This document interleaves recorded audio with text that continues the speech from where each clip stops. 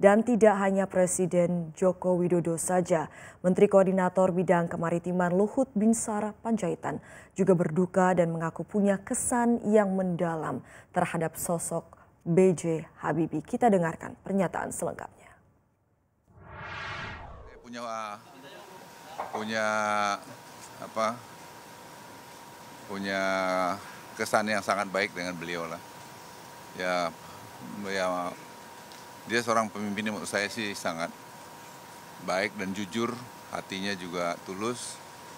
Dan saya sangat sedih lah tadi dengar bahwa beliau pergi, maka saya sekarang langsung pengen layak dan ya kita turut berduka cita atas kepergian beliau.